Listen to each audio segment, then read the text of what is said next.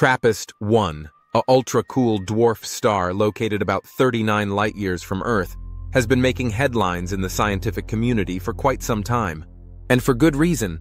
This tiny star is home to not one, not two, but seven Earth-sized planets, each with its own unique characteristics that make them potential candidates for supporting life.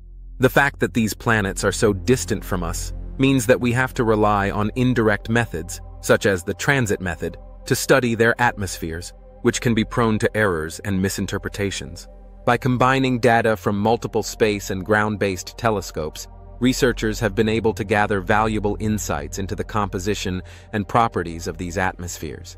Let's start with the innermost planet, TRAPPIST-1b, which is thought to be a rocky world with a thick atmosphere. The next planet, TRAPPIST-1c, is also believed to be rocky, but with a much thicker atmosphere that could be indicative of volcanic activity. The third planet, TRAPPIST-1d, is thought to be the most Earth-like of the seven, with a thick atmosphere and surface temperatures that could be suitable for liquid water.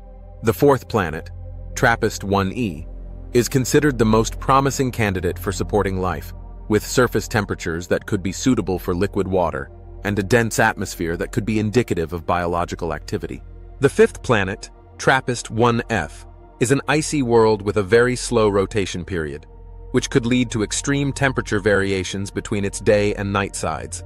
The sixth planet, TRAPPIST-1g, is also an icy world, but with a much thicker atmosphere that could be indicative of volcanic activity. And finally, the seventh planet, TRAPPIST-1h, is thought to be a cold, icy world with a very slow rotation period. Additionally, scientists have found evidence of water vapor and organic molecules in the atmospheres of some of the planets, which could be indicative of biological activity. The discovery of water vapor and organic molecules in the atmospheres of the TRAPPIST-1 planets has significant implications for the search for extraterrestrial life. It suggests that these planets could be capable of supporting life, either currently or in the past. So, which TRAPPIST-1 planet do you find the most interesting? And if you want to learn more about the wonders of our universe, be sure to check out my next video on another fascinating space topic.